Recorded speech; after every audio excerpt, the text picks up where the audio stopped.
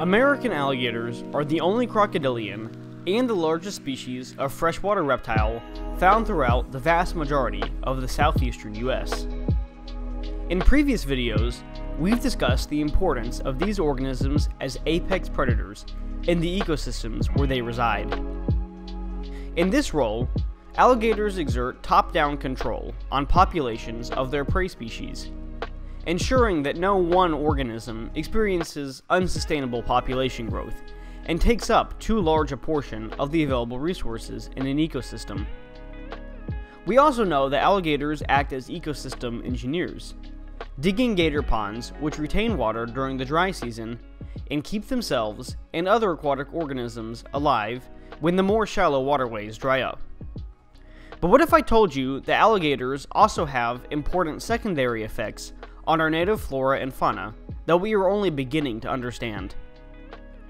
A recent 2021 study published by Ray Gable, Peter Frederick, and Jabi Zabala has revealed new aspects of a unique natural relationship that you might not have ever expected. A sort of partnership between alligators and wading birds. Now, I know it sounds absurd at the outset. Don't alligators prey on wading birds? Well, yes, but consider these two facts. Many waders select nesting sites protected by water, and most species select nest sites high in trees. Because the nesting is occurring in the canopy, adult wading birds have no need to worry about predation by alligators. They do, however, have to be very concerned about a different threat nest predators.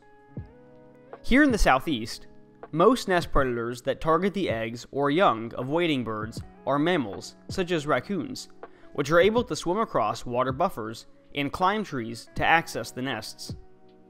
Raccoons are also large enough that most birds are unable to defend against them.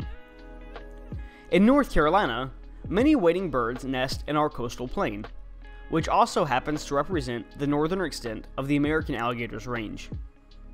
And where alligators are present here in North Carolina, they will absolutely prey on medium sized mammals when those opportunities present themselves such as when a nest predator swims across a waterway to access a nesting colony of wading birds. This study poses a question. In areas of coastal North Carolina where alligators are not present, are wading birds more likely to nest in areas that are inaccessible to mammalian predators? The researchers surveyed a selection of suitable nesting sites in eastern North Carolina, some of which were located in areas where alligator presence was unlikely and others in areas within the known alligator range. They controlled for factors such as vegetation type and island size when applicable, and the goal of the surveys was to assess whether or not wading birds were more likely to nest in areas where alligators were present when other habitat variables were consistent.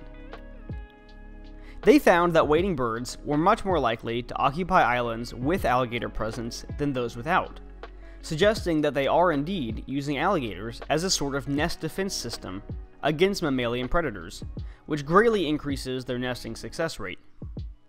In exchange for their services, alligators are able to consume any hatchlings that naturally fall from the nests into the water.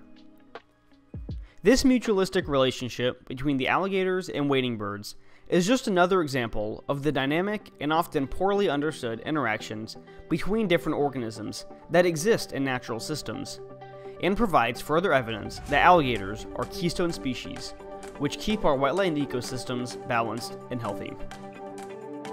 Alright everyone, that's just about it for today's video. I really hope that you enjoyed and learned something new about the American alligator. If you did enjoy, please be sure to leave a like on this video and consider subscribing to my channel for new educational wildlife content, coming on Saturday mornings as often as possible. Also, if you haven't already, feel free to check out my Twitter and Instagram pages at The Wild Report for photos and video clips from my adventures. Thanks so much for watching, and keep adventuring everywhere. This has been Zeno, of The Wild Report, signing out.